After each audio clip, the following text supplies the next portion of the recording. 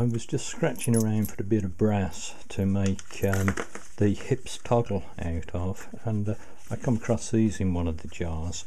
And uh, what these are these are the uh, pins out of a British 13 amp uh, plug. So we have plugs uh, that look like that and they've got rectangular pins uh, live and neutral and an earth pin.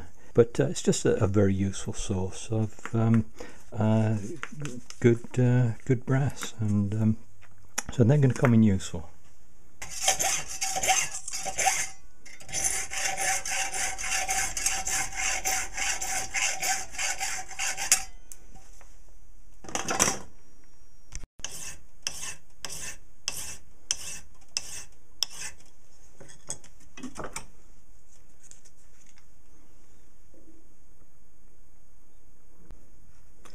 So this is going to be my uh, top uh, part of the toggle or the toggle itself.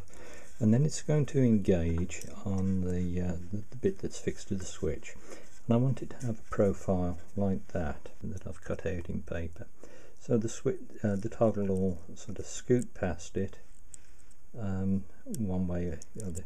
But when it uh, when it gets caught when it doesn't uh, move uh, far enough and it's time to engage it'll do that uh, so I've got to cut that shape, this shape, I've got to cut that out of some brass. I'm going to do that with this, but this has got to go on the switch.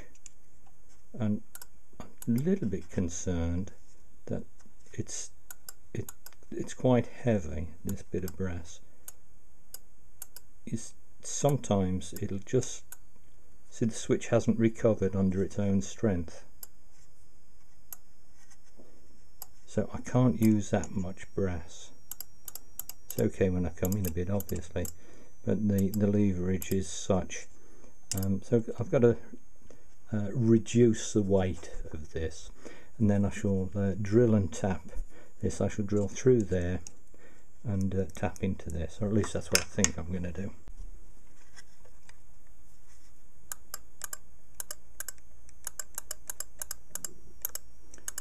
It seems to be alright.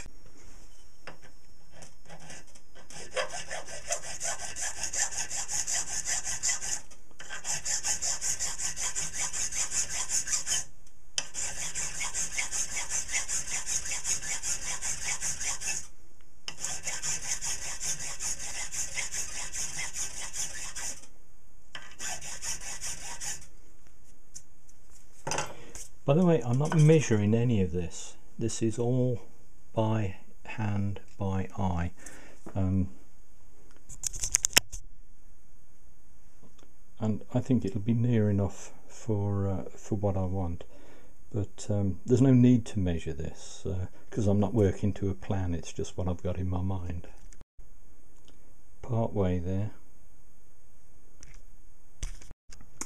Originally I had thought I would drill two holes and uh, drill and tap that.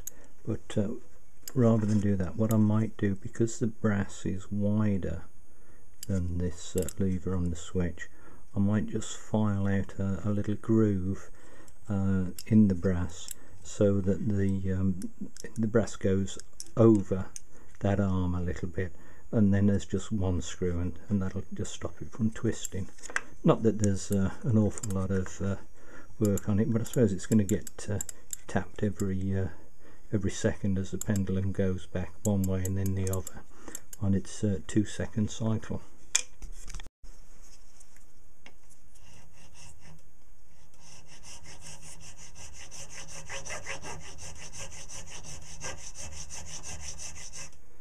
I just need a little slot to uh, accept the uh, tongue on that switch doesn't need to engage very far um, but I, I, just think it's a, uh, it would be useful.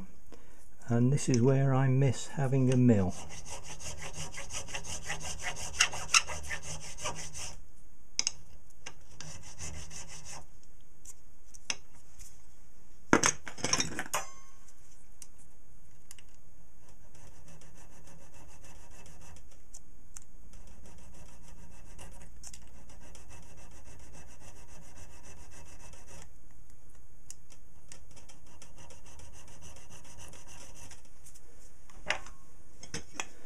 and that's not wide enough.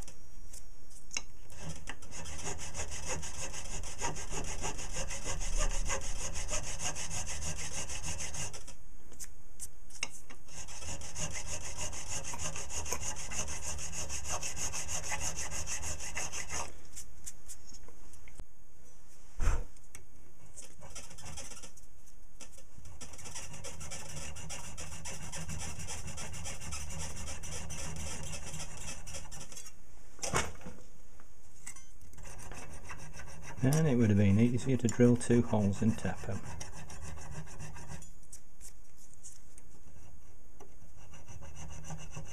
This is the thing when you make a, a one-off, because um, I'm not going to make two of these, um, you learn all sorts of things and this is why designers are constantly wanting to change things uh, because you you learn all of the mistakes on the first one and um, it takes time to uh, to understand what those problems are. And uh, that's the benefit of mass production.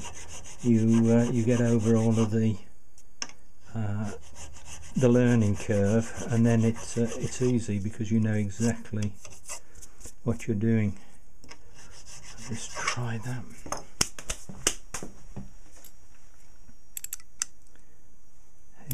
fits and again I haven't measured that. I just uh, other than what uh, just offering that in there. So I just tidied that up a bit. Um, it's just by eye. Um, not exactly beautiful but a blind man would like to see it Okay, yeah, there's the switch. Uh, it's blessed stainless steel. This is it's, it's very hard. Um, anyway, yeah, that's drilled, and uh, there's a little dog to go on the end, and uh, the screw there. Um, I realise I've committed a uh, a serious error, and that is I checked that mercury switch um, resistance, the one I'm not going to use. Um, but I didn't actually check this switch uh, which was a bit silly wasn't it? Um, I thought my service engineer training would have uh, kicked in.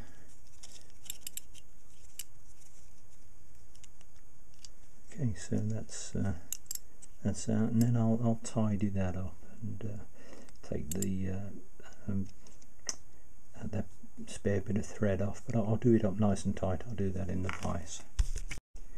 Okay that's uh, that. So there's my uh, swinging toggle. And um, uh, the theory is that uh, uh, that'll uh, do the job. But we'll see. And say I haven't measured any of this. I'm just doing what I think is right based on what I've seen on uh, that little prototype that I made. You remember me saying to you that I committed the sin of not testing the switch. Look at this. 1.2 megohms. Um, so what a what a pain. The good news is that I've got a, a brand new one here and that's uh, that's never been used. Uh, so what what's called new old stock or old new stock was it?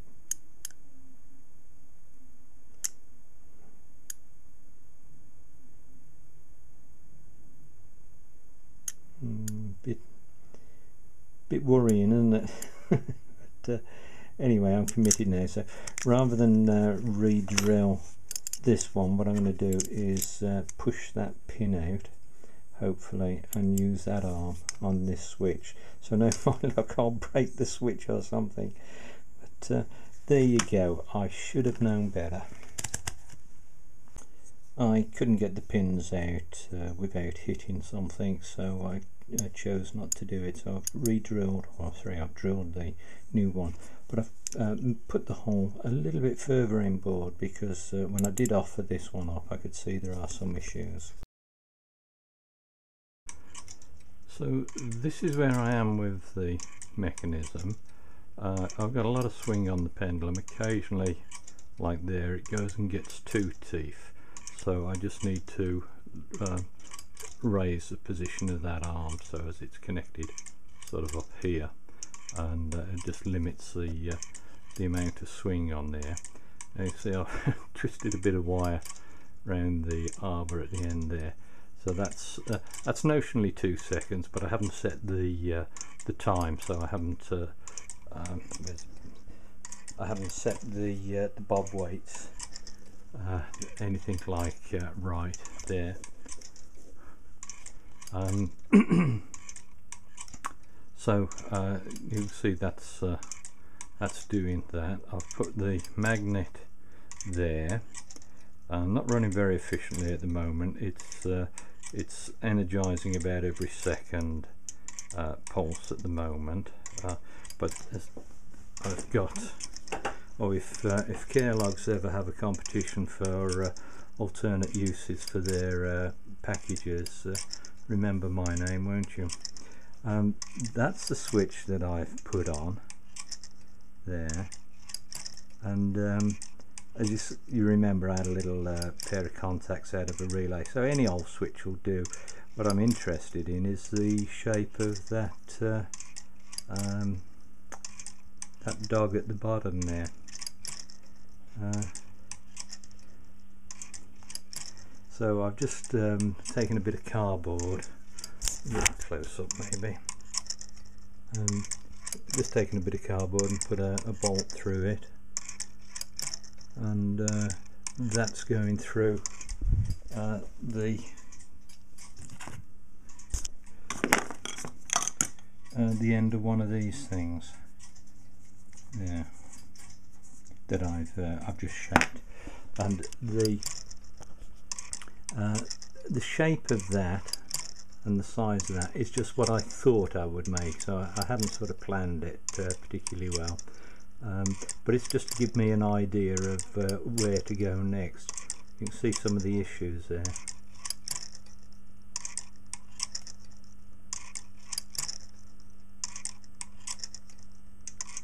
Okay so I, I, I, need to start measuring things and uh, get into grips with um, just how much um, uh, angular displacement uh, uh, everything needs.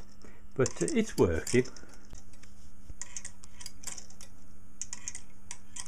So you can see that uh, little bit of metal I've got there for the uh, magnet to react against. It's held to the pendulum with these clips. And uh, that little uh, pore at the top is held on with that paper clip there um, but uh, it's just um, to get an idea of uh, where to go next uh, with uh, with this.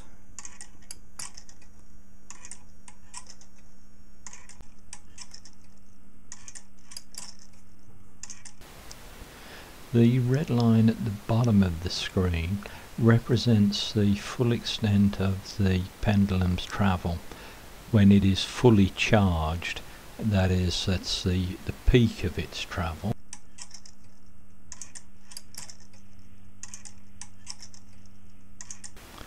The red line in the middle of the screen now indicates the pendulum's travel uh, when it's just not overreaching the dog. So the little uh, toggle there is just caught on the left hand edge of the dog and then on the subsequent right hand swing so it operates the switch.